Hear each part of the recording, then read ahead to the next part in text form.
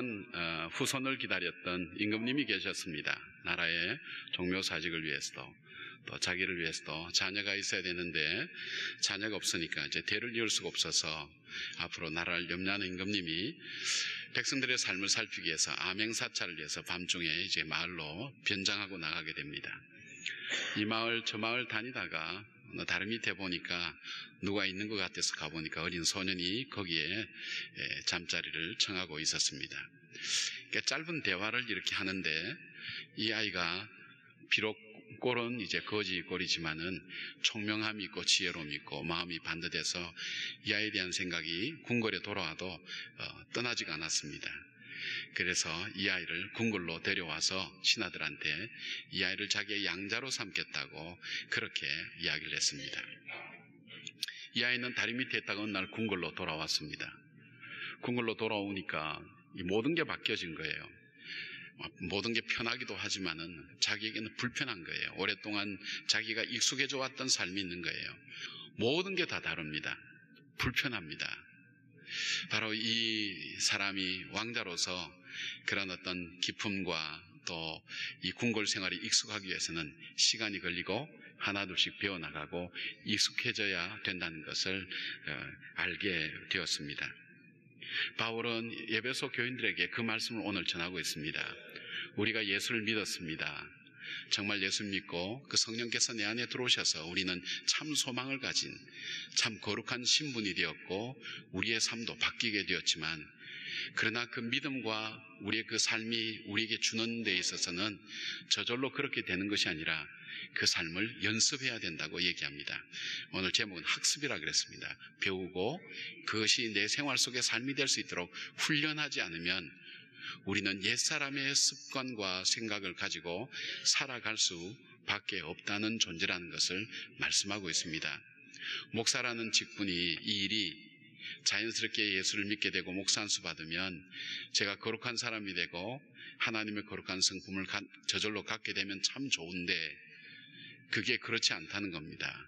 그것이 하나씩 하나씩 믿음을 가진 하나님의 사람의 삶을 훈련하고 연습하며 그래서 그것을 통해서 공동체를 세워나가고 한 그리스도의 몸을 세워나가고 내 자신의 인격과 삶이 아름답게 변할 뿐 아니라 다른 사람들을 격려하고 세워나가는 하나님의 사람으로 살아가기까지 우리는 꾸준히 관계 속에서 하나님 말씀을 따라 훈련하지 않으면 안 된다는 것을 말씀하고 있습니다. 그래서 바울은 옛사람 우리가 때로는 의식하든 의식하지 못하든 우리로 하여금 성숙하지 못하게 만들면서 그리고 우리가 한 공동체 안에서 우리가 서로가 거룩한 영향력을 주고 마디마다 연결되어서 성숙하게 못하지만 못하게 만드는 삶의 모습 다섯 가지를 뽑아냅니다. 대표적인 것 그것이 뭐냐면 거짓말, 분노, 도둑질, 더러운 말, 악의 이 다섯 가지를 뽑아내어서 우리가 이걸 의식하든 의식하지 못하든 이 공동체를 무너뜨리게 만들고 그리고 내 자신의 인격을 자라지 못하게 만들고 하나님 앞에서 우리가 은혜로운 삶을 살지 못하게 만드는 이 우리도 의식하거나 의식하지 못하는 이 다섯 가지에 대해서 이야기를 하면서 먼저 우리의 옛사람에 대한 부분을 말씀하고 있습니다. 제일 먼저 이 거짓말이라고 하는 것은 뭐냐면 사단이 가장 효과적으로 관계를 단절하거나 이간질할 때 사용하는 것으로 사탄의 가장 중요한 방법입니다. 하나님의 진리의 말씀을 거짓말로 바꾸어서 하와를 유혹해서 죄에 빠뜨리게 만들었죠. 그래서 모든 아담과 하와의 후손들이 불순종으로 인해서 죄와 저주 아래 빠뜨리게 만들었던 것이 바로 이 거짓말이었습니다. 그리고 이 거짓말을 통해서 이간질을 만들어내고 이간질을 통해서 더러운 습관을 만들면서 우리가 죄의 지배를 받도록 만들었던 굉장히 중요한 도구가 바로 이 거짓말이라는 것입니다. 진리를 진리로 믿지 못하게 만들고 불신과 두려움을 주면서 선한 것과 악한 것을 분별하게 만들지 못하는 것 이것이 바로 거짓말이 관계에서나 자기 삶에 있어서 얼마나 많은 어려움을 주는 것인가 하는 것을 이야기하고 있습니다. 사람들은 거짓말을 하면서도 자기가 하는 말이 거짓말인 지를 알지 못합니다. 그리고 이 거짓말이 어떤 영향을 나타낼 건지, 어떨 때는 고의적으로 거짓말을 하는 것도 알지만, 어떨 때는 두려워서 하기도 하지만, 그러나 일상생활 속에서 너무나 쉽게 하는 말 속에 참된 말이 없다는 것을 알지 못한다는 것입니다. 미국 MIT 대학에서 2006년부터 2017년까지 뉴스 트윗 450만 건을 분석했습니다. 그 분석해 본 결과 사람들이 가짜 뉴스를 거짓말을 진짜보다 28배나 더 많이 공유하고 나누고 있다는 사실입니다. 그리고 이 전파하는 속도도 3배나 빠른데 가장 무서운 것은 사람들이 이것이 진짜냐 거짓말을 진짜냐 거짓말로 분별해 듣는 것이 아니라 새로운 정보로 받아들인다는 겁니다. 그러니까 분별 없이 받아들이고 분별 없이 받아들인 그 거짓말을 통해서 자기의 삶의 신념 체계를 만들고 이 신념 체계를 통해서 행동과 감정을 갖게 되니까 그 삶이 파괴적이 되고 어려워지는 것을 보게 됩니다. 뿐만 아니라 자신의 성숙도 성숙이지만 관계를 파괴해서 서로가 거룩한 성숙과 영향력을 주지 못하고 있다는 것입니다. 여러분, 우리가 하고 있는 많은 말 중에 정말 내가 거짓말을 하고 있는가? 이 의식을 잘 못해요. 잘 안 돼요. 우리도 알게 모르게 거짓말들을 하고 있다는 사실. 근데 그 거짓말이 별로 영향이 없는 것도 있지만 사람 마음속에 상처와 아픔을 주고 고통을 주면서 관계를 파괴시킨 일들을 하고 있다는 것을 바울은 교회 안의 성도들에게 이야기를 하고 있습니다. 그 다음 분노라는 것이 관계를 깨뜨리고 자기 자신을 많이 어렵게 얘기한다고 합니다. 분노는 인간의 감정 중에 가장 근본적인 감정입니다. 슬픔이든 불안이든 두려움이든 인간이 나타나는 표현은 분노입니다. 분노의 표현이 여러 가지로 나타납니다. 때려 부시는 것도 있지만 말 안 하고 가만히 있는 것도 있고 다양한 표현으로 나타나지만 그 속에 이미 분노라는 것이 자리 잡고 있습니다. 분노는 하나님의 은혜를 한꺼번에 쏟아버리게 만드는 굉장히 무서운 감정입니다. 그러면서 이 분노를 갖고 있다면 하나님의 뜻을 생각하거나 보지 못하게 만듭니다. 분노는 자기 자신의 내면을 바라보지 못하고 다른 사람을 정지하고 비난한 일에 이 분노라는 감정은 굉장히 힘을 받습니다. 그리고 이 분노의 최종적인 목적은 바로 자기 의와 자기 유익이 최종 목적이 되는 것을 보게 됩니다. 분노 자체는 죄가 아닙니다. 예, 화를 내고 그리고 화를 낼 만한 일을 만난 것은 화를 내는 것은 죄가 아니지만 성경은 이렇게 얘기합니다. 이 분노라는 것이 나타나게 될 때에 죄를 지을 가능성이 너무너무 많다는 겁니다. 분노의 감정이 내 속에서 나타날 때 죄를 지을 수 있는 굉장히 많은 가능성, 위기의 순간에 취한다는 겁니다. 그리고 이 분노를 통해서 자기 아름다움을 다 쏟아내기도 하고 이 분노를 통해서 사람들 마음에 상처와 아픔을 주기도 하고 분노를 통해서 하나님께로부터 받은 모든 애를 한꺼번에 쏟아버리게 된다는 것입니다. 성경은 의로운 분노라 할지라도 해질 때까지 품지 말라고 말씀하고 있습니다. 왜냐하면 분노라는 감정 자체가 우리에게 미치는 영향이 크기 때문입니다. 의로운 분노라 할지라도 해를 넘기지 말라는 것입니다. 우리가 해를 넘기지 말라는 이유는 뭐냐면 우리가 우리 의식 속에 분노가 있을 때는 우리가 의식 안에서 정리하면 이것이 우리 삶 속에 들어가지 못하지만 우리가 하루를 지나면서 침을 삼키듯이 꿀꺽 삼켜버리면 이것이 우리의 무의식이라는 속에 들어가서 우리도 알지 못하는 나도 모르는 괴물처럼 내 안에서 내 삶을 어렵게 만드는 요인이 되는 것을 봅니다. 표현합니다. 한 대를 때리면 한 대 맞은 만큼 상대방을 때리고 싶은데 세 대를 때리게 되면 두 대만큼의 이전에 그에게 쌓였던 분노가 이 안에서 폭발되어서 나타나오는 것을 보게 됩니다. 이전에 자기가 분노했던 유사한 경험과 그것이 나타날 때 그 분노는 통제할 수가 없습니다. 화를 낼 만한 사람에게, 낼 만한 대상에게, 낼 만한 시간에, 낼 만한 용량만큼 내는 것은 그건 그렇게 문제가 되지 않습니다. 그러나 우리의 분노는 화를 내지 말아야 할 대상에게 화를 낼 수 없는 상황과 환경 속에서 그리고 화를 낼 정도를 넘어서서 할 때 그것이 파괴적이 된다는 것을 보게 됩니다. 여러분, 부모의 분노가, 부모의 분노가 자식 속에는 평생에 남습니다. 입술에 30초가 가슴에 30년이 된다는 이야기는 바로 이 분노와, 분노 속에는 바로 이 미워함과 그리고 거절과 그리고 정죄에 대한 의미를 담고 전달될 때가 참 많다는 것입니다. 그래서 성경은 그렇게 얘기합니다. 분노가 나는 것은 당연한 일일 수 있지만 이 분노는 죄를 짓기 쉽기 때문에 죄 짓지 않도록 하라는 것. 그리고 이 분노를 해지기까지 품지 말라고 그렇게 말씀하고 있습니다. 분노는 마귀가 우리를 이용하고 조종하는데 가장 보편적으로 사용하는 도구가 됩니다. 그 다음 도둑질을 얘기합니다. 도둑질은 하나님 것과 자기 것을 구별하지 못하고 자기 것과 다른 사람의 것을 구별하지 못하는 분별력을 상실하게 만듭니다. 욕심으로 인해서 자기에게 분별력을 잃어버리고 혼돈과 혼란을 만드는 일이 바로 도둑질입니다. 말라기 3장 8절에 이렇게 말씀합니다. 사람이 어찌 하나님의 것을 도둑질하겠느냐? 그러나 너희는 나의 것을 도둑질하고도 말하기를 우리가 어떻게 주의 것을 도둑질하였나이까 하는도다. 이는 곧 11조와 봉헌물이라 그렇게 말씀합니다. 하나님께서 나에게 주신 계명과 사명보다는 나의 욕심과 필요를 우선으로 생각하게 됩니다. 여러 곳을 점령할 때 아간이란 한 사람이 훔친 도둑질한 외투와 은과 금 그렇게 한 사람이 훔쳐봐야 얼만큼 훔치겠습니까? 그리고 외투는 필요한 겁니다. 금과 음은 우리가 모두 소중히 여기는 것, 훔친 것 그 한 사람 그 행위 때문에 그 200만 명이나 되는 그 전체 공동체가 하나님의 거룩한 길을 나가는 일에 중단할 수밖에 없었던 일들. 그것 때문에 삶의 현장인 이 아이성과의 전투에서 이길 수 있는 전투에서 패배하게 만들었다는 사실. 그 한 사람의 거짓말이 얼마나 많은 공동체에 아픔과 고통을 주는 하는 것을 보게 됩니다. 우리가 하는 말이 심판의 대상이 된다면 오늘 우리는 함부로 말할 수는 없을 것입니다. 우리가 하는 말이 정말 무익한 말인지 유익한 말인지 살펴보아야 됩니다. 어, 그리스의 지혜자들은 말을 할 때 그런 얘기를 했다 그래요. 어, 이 말이 사실인가? 두 번째, 이 말이 선한 말인가? 세 번째, 이 말이 유익한 말인가? 네 번째, 이 말이 지금 해야 될 말인가?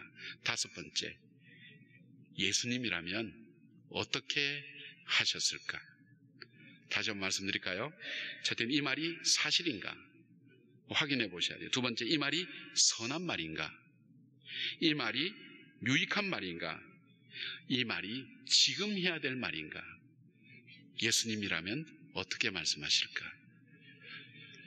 바로 하나님의 사람, 그 사람이 가져야 될 삶의 모습을 보여주고 있습니다. 여기에 마지막으로 하는 악이라고 얘기하는 것은 파세카키아라는 이 단어는 인간이 지닐 수 있는 모든 종류의 나쁜 감정 전체를 표현할 때 이 단어를 씁니다. 악의를 가지고 사람을 대하지 말라는 겁니다. 고의적이고 의도적이면서 적대감의 표현이나 행동에 모든 것을 포함해서 얘기합니다. 결국 이 모든 것들이 자기 자신을 파괴하고 교회 공동체를 분열시키며 그 다음에 서로가 성장하고 성숙할 수 있는 거룩한 영향력을 끼치지 못하는 잘못된 옛사람의 모습이라는 것. 사단이 사용하는 도구라는 것. 그래서 하나님의 사람들이 아름다운 가정 이루지 못하고 교회의 화평을 이루지 못하고 믿음 안에서 서로 성장하고 격려하며 치유되고 회복되는 일들을 끊임없이 방해하고 막는 바로 그런 요소가 교회 안에서 바로 이런 다섯 가지 요소라고 얘기합니다. 그러면서 바울은 또다시 이런 말씀을 합니다. 이 모든 것들을 하지 말라고 하는 것이 아니라 적극적으로 오히려 할 때 이 모든 것들을 이겨낼 수가 있다는 것입니다. 새 사람은 어떤 삶의 모습을 살아갑니까? 빈 공터에 잡초를 제거하기 위해서는 잡초를 뽑아버리는 게 우선입니다. 그러나 뽑아버리고 그냥 두면 이 땅은 얼마 가지 않아서 다시 잡초가 자라게 되어 있습니다. 우리가 새 사람 있기 위해서 옛 사람을 벗어버리는 것 우선순위지만 벗어버리는 것으로 끝나는 것이 아니라 바로 하나님 앞에서 새 사람을 덧입기를 적극적으로 노력해야 된다는 것입니다. 바로 빈 공터에 다른 좋은 식물을 심는다는 거죠. 잡초가 자라지 못하도록 좋은 식물을 통해서 더 창조적이고 멋있게 이 땅을 사용하는 것입니다. 잡초가 무성한 땅을 곡식으로 가득 채운 농부에게 이렇게 물었습니다. 이 땅은 잡초가 무성해서 버려둔 땅인데 어떻게 이 땅을 비옥하게 만드셨습니까? 농부가 이렇게 대답합니다. 잡초는 너무 끈질겨서 아무리 뽑아도 빈터가 있으면 다시 자라게 되어 처음부터 잡초가 자랄 빈터를 남기지 않고 이로운 곡식으로 털을 채워버리면 잡초가 자랄 땅이 없어져 버립니다. 그렇게 말씀합니다. 그러면서 이 바울은 바로 우리의 옛 사람을 극복하고 서로의 관계와 성숙을 파괴하는 것을 위해서 우리가 가져야 될 많은 것 중에 중요한 것은 악의를 갖는 대신 인자 마음을 갖고 서로를 용서하는 삶을 살라고 그렇게 말씀합니다. 인자 마음이라는 건 뭡니까? 인자하며 불쌍하게 여긴다는 χρηστός라고 하는 단어는 자기 이웃의 일을 자기의 일로 여기는 마음입니다. 불쌍히 여긴다는 것은 스플랑크 니조마이라 이 단어는 내 내장이 끊어지는 그 아픔을 내가 같이 느끼면서 그렇게 받아들이는 겁니다. 여러분, 우리가 마음이 회복될 때가 언젠가요? 우리가 다시 시작하고 싶을 때가 언젠가요? 저 사람이 내 일처럼 받아들여주고 있구나. 저 사람이 내 마음만큼 아파하고 있구나. 그 마음을 우리는 갖게 될 때에 우리는 관계 속에서 다시 신뢰를 회복합니다. 한 사람 때문에 세상을 부정했는데 그 한 사람 때문에 자기가 부정했던 이 세상을 다시 긍정으로 보는 힘이 바로 거기에서 나옵니다. 사랑하는 여러분, 우리가 살아야 될 삶은 내가 자연스럽게 살아왔던 대로 내버려 두는 것에서 내가 정말 좋은 그리스도인이 된다고 생각하시면 안 됩니다. 내가 지금 살아가는 삶의 모습이 예수 믿고 새 사람 되었지만 정말 내 삶은 내 생활은 새 사람으로 살아가고 있는가? 내 행동은 내 언어는 내 습관은 정말 새 사람으로 살아가고 있는가를 먼저 귀를 열고 눈을 뜨고 그리고 내 자신의 감각을 살려서 나를 살펴보셔야 됩니다. 그리고 내 속에 끊임없이 앞에 말씀드린 그 내용과 정반대의 일을 더 적극적으로 하셔야 됩니다. 내가 거짓말을 하고 내가 쉽게 얘기한다고 생각하는 사람은 할 수 있으면 덕을 세우는 말을 하기 위해서 노력하셔야 됩니다. 남의 것을 훔치고 도둑질 하는 사람은 오히려 구제하는 바로 그 삶에 대한 연습을 하셔야 됩니다. 악의를 갖고 있는 사람은 바로 그 악의 대신 나에게 그 사람을 이해하려고 하는 마음, 그 사람을 사랑하려고 하는 마음을 갖도록 내 마음을 자주자주 바꾸어 줘야 됩니다. 그리고 우리 속에, 우리 속에 하나님이 기뻐하지 않는 그런 마음들을 갖고 있는 것을 살펴보면서 적극적으로 분, 사랑, 그, 살아야 되는 것을 말합니다. 분노하는 사람은 어떨까요? 쉽게 나는 잘 분노한다 그러면 분노가 나지는 않을 수 없습니다. 분노는 하나님 주신 선물의 감정이라고 저는 그렇게 믿습니다. 그러나 분노가 우리 속에 일어나기 때문에 평소에 분노는 자기를 사랑하는 행동은 아닙니다. 내가 분노를 표현하기 위해서는 내 안에 표현하는 건네 배가 내 안에서 우글거려야 됩니다. 남의 표현하는 한마디가 일의 상처를 준다면 내가 그 일의 상처를 주겠어. 내 안에서 이미 네 배에 가까운 상처를 내가 스스로 받아야 됩니다. 분노는 나를 사랑하는 일이 아닙니다. 그리고 분노는 남을 축복하는 것이 아닙니다. 그래서 의도적으로, 의도적으로 나를 사랑하는 그런 마음을 자주 품어야 됩니다. 나를 사랑하는 사람은 결코 나를 죄 내어주지 않습니다. 나를 사랑하는 사람은 파괴적이고 무너지는 곳에 내 마음과 내 생각과 내 지성과 내 입술을 빼앗기지 않습니다.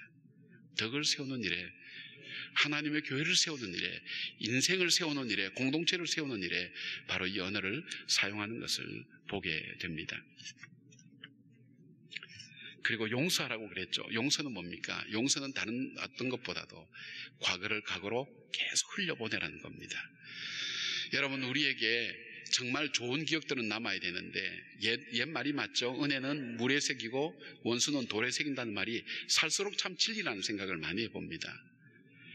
내게 잊혀져야 될 것이 잊혀지지 않고 이것이 계속 묵상이 됩니다.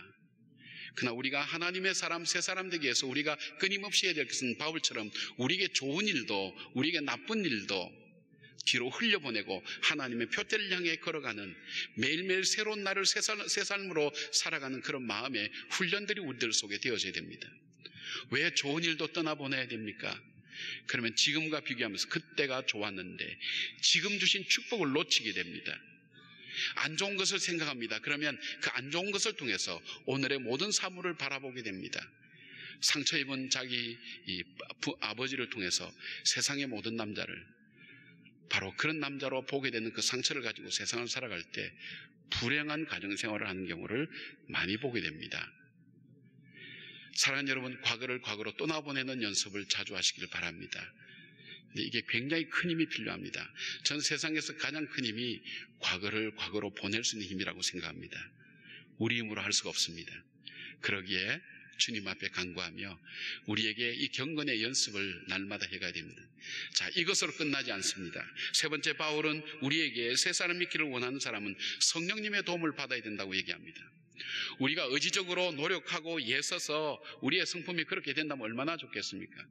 내가 덕을 쌓은 말을 해야지 하는데 어느새 나도 보면 거짓말을 하고 있고 내가 부드럽게 사랑해야지 하는데 어느새 나도 분노를 하고 있고 내가 사람들과 이간질하는 말도 나도 모르게 하고 있고 속이 상하면 무슨 얘기든지 대상에 관계없이 다 하고 있습니다. 우리는 우리 자신의 육신을 제어할 수 있는 훈련이 여간 훈련이 된 사람도 힘들다는 거예요. 쉽지 않다는 거예요. 그래서 바울은 성령님의 도움을 요청하라는 거예요. 우리 힘으로 할 수 없다는 것입니다. 왜냐하면 우리가 눈에 보이는 윤리적이고 도덕적이고 삶의 습관처럼 보이는 그 이면 속에 영적인 존재가 우리로 하여금 끊임없이 그것을 붙들고 놓지 않는다는 겁니다. 이것은 단순히 윤리와 도덕과 습관의 문제가 아니라 우리 속에 영적인 어떤 세력들이 우리로 하여금 하나님 앞에서 복된 인생으로 살아가지 못하고 주님의 가정이 주님의 교회가 아름다운 공동체가 되지 못하도록 끊임없이 우리의 축복의 환경을 파괴하고 무너뜨리는 악한 세력들이 있다는 영적인 세계가 있다는 것을 바울은 교인들에게 일깨워주고 있습니다. 사랑하는 여러분, 여러분에게도 말씀드립니다. 눈에 보이는 일들, 눈에 보이는 환경 이면 속에 여러분 영적인 세계를 체험하신 분은 이게 무슨 말인지 알 겁니다. 그러나 우리가 알든 모르든 그 이면 속에 우리가 예수를 믿고 하나님의 자녀가 된 것, 그것 자체를, 그리고 그 예수를 믿음으로 오는 하나님으로부터 오는 그 복을 누리고 받으며 바로 살지 못하도록 어쨌든 낙심해서 절망해서 떨어뜨리도록 하는 구체적인 아주 인격적이면서도 지적인 존재가 기가 막힌 존재가 있다는 것을 바울은 일깨워 주는 겁니다. 그것이 예배소서 6장에 구체적으로 얘기하고 있습니다. 여러분 힘으로, 여러분 의지로, 여러분 지성으로 이길 수가 없습니다. 우리 힘으로 할 수가 없습니다. 하나님께 이 지혜를 구하셔야 됩니다. 성령을 근심하게 하는 일이 뭘까요? 성령을 거스르는 일, 성령을 회방하는 일, 성령을 소멸시키는 일들은 우리를 돕기 위하여 우리와 함께하기 위해서 하시는 그 하나님께서 우리는 죄와 정면 대결하는 것 같습니다. 하나님을 대적하는 것과 마찬가지라는 것입니다. 우리는 살다 보면 힘들 때도 있습니다. 어려울 때도 있습니다. 시험 들 때도 있습니다. 낙심될 때도 있습니다. 앞길이 캄캄할 때도 있습니다. 그럼에도 그때에도 우리는 여전히 하나님의 사람으로 산다는 것이 무엇인지를 우리는 한번 돌아봐야 됩니다. 날마다 쳐서 복종시키지 않으면 주님의 뜻대로 살아갈 수 없는 것이 우리의 죄성입니다. 우리가 하는 모든 지식을 사로잡아서 주 앞에 내려놓지 않으면 우리가 공부한 여러 가지 지식들이 알고 있는 지식들이 우리 하여금 하나님 앞에 순종하는데 얼마나 걸림돌이 되는지 알 수가 없습니다.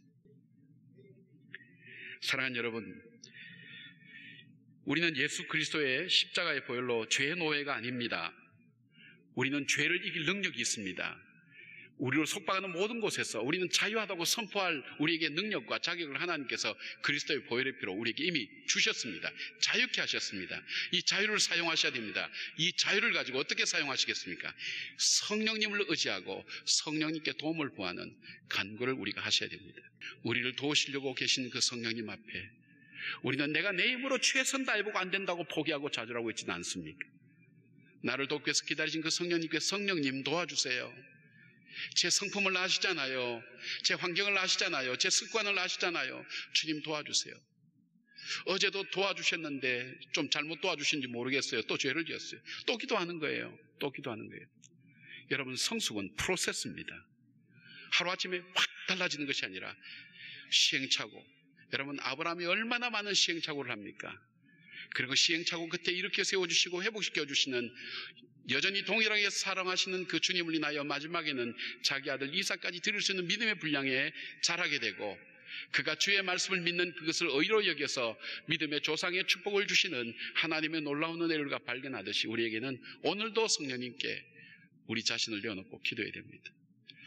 기도의 숙제들이 얼마나 많이 이 찾아온지 모릅니다. 하나님 내가 자녀를 대할 때, 부부간에 서로 도 할 때, 사람들을 만날 때, 일들을 대할 때, 제가 정말 주님께 쓰임 받고 싶습니다.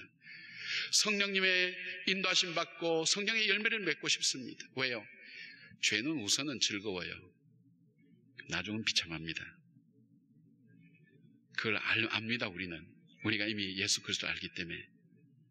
사랑하는 여러분, 오늘 우리가 새 사람입니다. 예수 그리스도를 믿고 새 사람다운 삶을 살기 위해서 내가 오랫동안 믿어왔기 때문에 직분 때문에 그렇게 생각하지 마시고 남들이 칭찬하기 때문에 나 성품 좋다고 칭찬하기 때문에 그것이 아니라 하나님 앞에서 나는 누구인가 오늘 어떤 말을 하고 사는가 어떤 마음의 의도를 가지고 오늘 살아가고 있는가 어떤 감정의 표현을 하고 있는가 우리가 하나씩 하나씩 바울의 그 지적하는 것을 하나씩 따라서 우리 자신을 돌아보면서 오늘도 우리에게 선택의 길은 항상 주어져 있습니다. 어떤 길 택하시겠습니까? 성령님께 도움을 요청하는 지혜로운 여러분 되시길 바랍니다.